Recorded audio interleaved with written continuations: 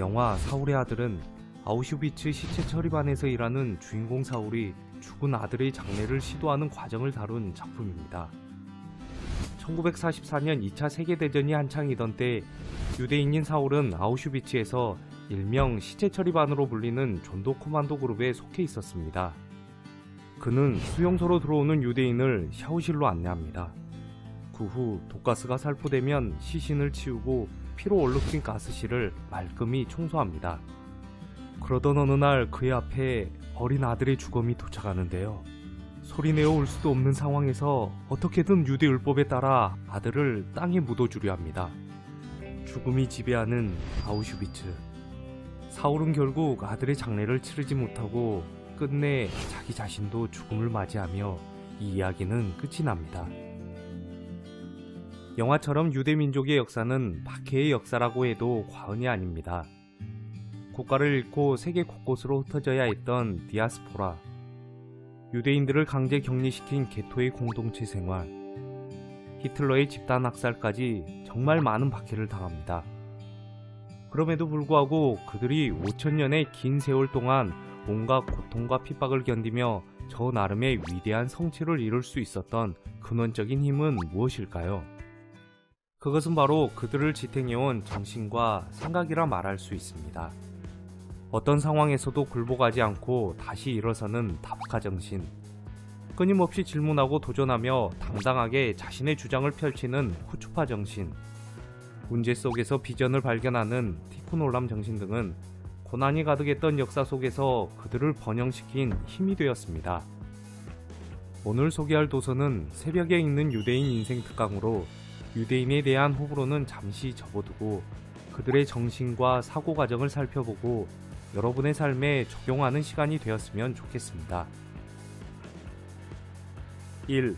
나를 성장하게 만드는 고난을 선택하라. 오스트리아의 심리학자이자 의사인 빅터 프랭클 박사는 지옥 같은 아우슈비츠 수용소에 3년간 갇혀 있었습니다. 그는 생사의 엇갈림 속에서도 삶의 의미를 잃지 않으려 노력했고 결국 살아남게 됩니다. 이러한 체험을 바탕으로 쓴 죽음의 수용소에서라는 책에서 그는 다음과 같은 말을 남깁니다. 삶의 의미가 있다면 그것은 시련이 주는 의미이다. 시련은 운명과 죽음처럼 삶에 빼놓을 수 없는 한 부분이다. 시련과 죽음 없이 인간의 삶은 완성될 수 없다. 우리들은 이루고 싶은 것, 바라는 것을 말하면서도 변화와 성장이 없는 시간을 보내기만 합니다. 변화가 필요하다고 생각하지만 그저 똑같은 일상을 보내는 것을 선택합니다. 안타까운 것은 그 사실을 자기 자신도 알고 있다는 것입니다. 성장한다는 것, 변화한다는 것은 대가를 요구합니다.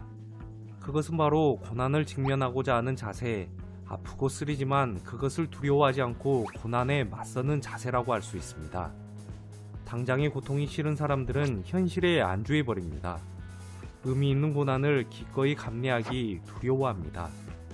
여러분들은 혹시 시련과 고난이 두려워 변화를 피하고 있진 않으신가요? 2. 태도의 차이. 결과를 구하면 하나를 얻지만 과정을 구하면 열을 얻는다. 유대 격언 중에 이런 말이 있습니다. 만약 천사가 눈앞에 나타나 토라의 모든 것을 가르쳐 준다 해도 나는 거절할 것이다. 배우는 과정은 결과보다 훨씬 중요하기 때문이다.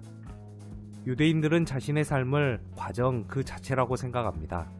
그래서 이들은 고속도로와 같은 지름길이 아닌 구불구불하고 험난한 산길을 택합니다.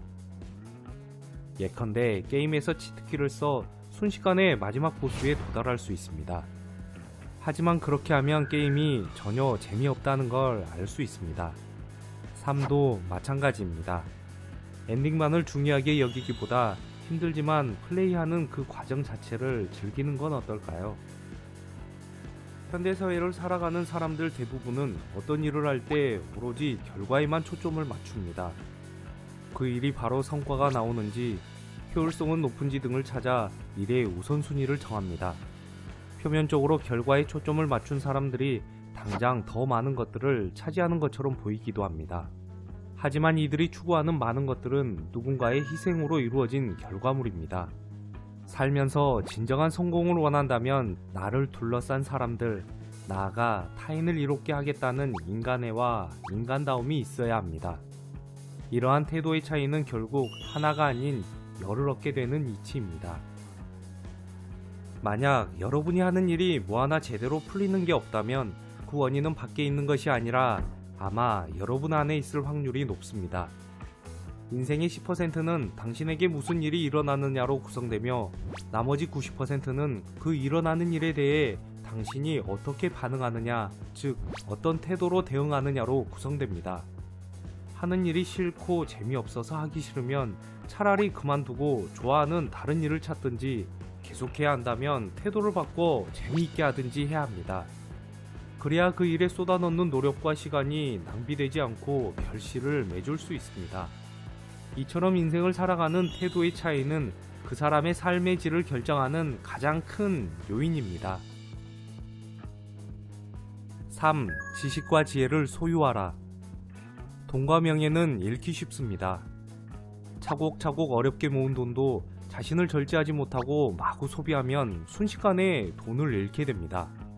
드물긴 하지만 재산을 노리고 접근한 사기꾼, 도둑 등 악의를 가진 사람에 의해서도 돈을 잃을 수 있습니다. 명예도 비슷합니다. 오랜 노력 끝에 명예를 얻어도 한순간의 실수로 또는 시기하는 사람에 의해 명예가 실추되기도 합니다. 그러나 지식과 지혜는 다릅니다. 한번 내 것이 되면 온전히 내 안에 있어 평생 누구에게도 빼앗길 일이 없습니다.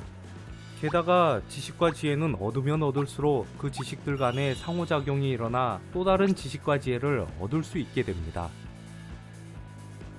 탈무드와 토라는 수세기에 걸친 유대인의 삶이 담겨 있는 인생이라는 여행에 관한 안내서라 할 수 있습니다.